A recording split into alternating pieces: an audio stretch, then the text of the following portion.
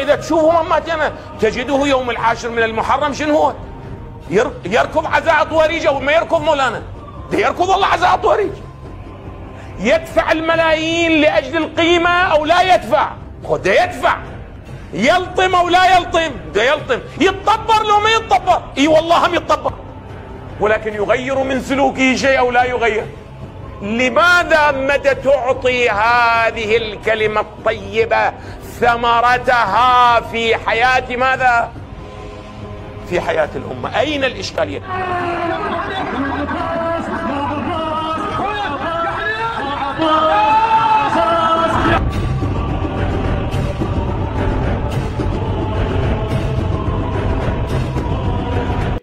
القضية الحسينية أيضا كذلك. إذا تبدل موقع الأصل مع الفرع والفرع مع الأصل بعد ينتج أو لا ينتج وهذه هي مصيبة الشيعة 1400 سنة ولهذا تجد بأنه شهرين خلي ذهنك يمي وهذا أصل قرآني طبعا. لا يروح ذهنك في مكان بعيد. لا تتصور أنا أقوله من عندي مولان.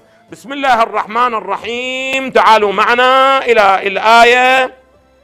إلى الآية 24 و 25 من سورة إبراهيم. قال تعالى ألم تر كيف ضرب الله مثلا طيبة كشجرة طيبة؟ ما هي؟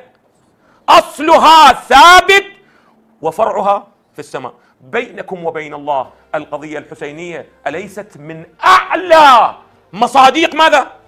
الكلمة الطيبة. أليست كذلك؟ لو أكو أحد عنده شك في منظومتنا المعرفية إذا لابد ماذا تكون؟ التفت جيدا قال تؤتي أكلها كل حين بإذن ربها إذا لابد أن هذه القضية الحسينية هذه الكلمة الطيبة إذا أحيت في حياة الشيعة لابد أن تكون حياتهم شو تصير مولانا؟ شو تصير حياتهم؟ يزيدية لو حسينية؟ ها؟ لا أقل لابد تصير كأصحاب الإمام الحسين.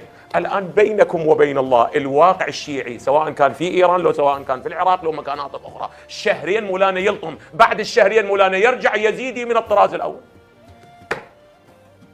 ما هو السبب؟ لماذا؟ لا يريد لا لأنه هذا مدى يستعمل؟ التركيبة كما ينبغي. فتعطي أكلها أو لا تعطي. ولهذا أنا سئلت وقعا قالوا أصابنا 1400 سنة الآن بعد 1380 سنة أليس كذلك؟ يعني من سنة 61 من الهجرة إلى 1440 إيش قد لنا صار لنا مولانا؟ 14 قرن مولانا نلطم على الحسين أو لا نلطم؟ ها؟ نبكي أو لا نبكي نقيم العزاء وخصوصا في هاي المئة سنة الأخيرة أو الخمسين سنة الأخيرة لماذا لم يغير من واقعنا الاجتماعي والسلوكي والقيمي شيئا لماذا وين وين أين الإشكال أين المشكلة؟ أين؟ لماذا هذه الكلمة الطيبة شنو ها؟ لا تؤتي أكلها كل حين بإذن ربها. لأن الآية صريحة.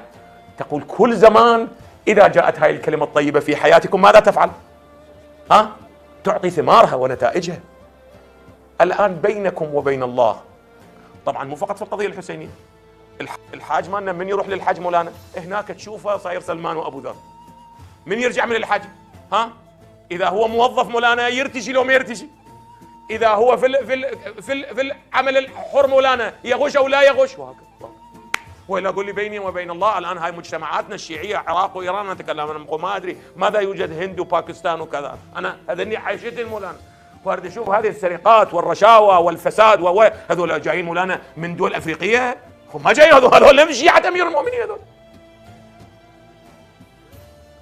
لماذا مدي وإذا تشوفوا مماتنا تجده يوم العاشر من المحرم شنو هو؟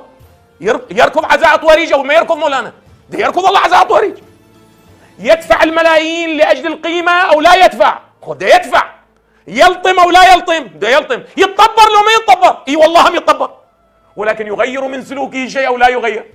لماذا متى تعطي هذه الكلمة الطيبة ثمرتها في حياة ماذا؟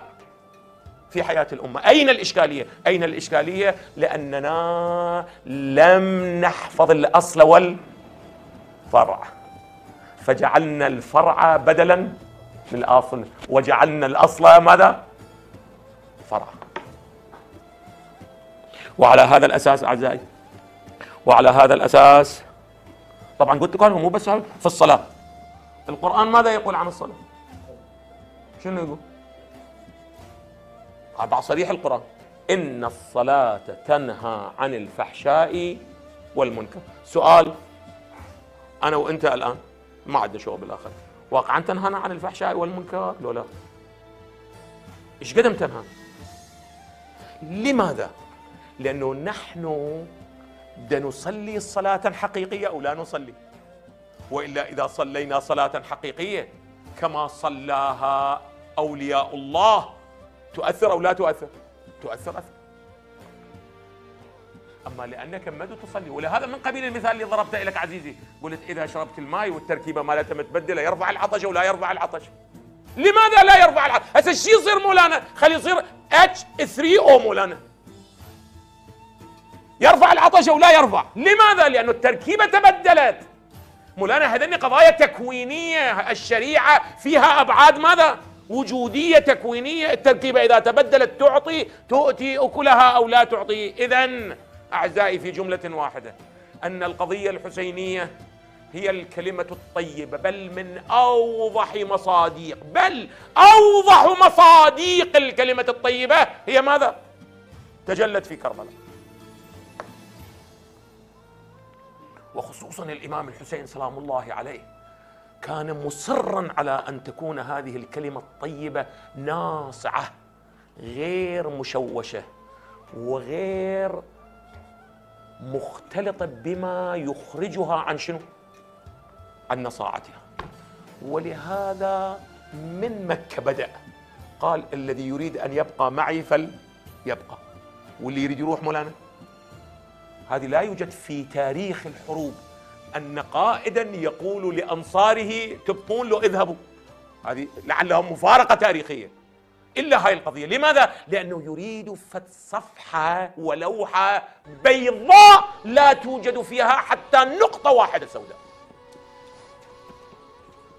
ولهذا تجدون بعد آخر موقف إلى كان ليلة العاشر من محرم. حلهم عن بيعته.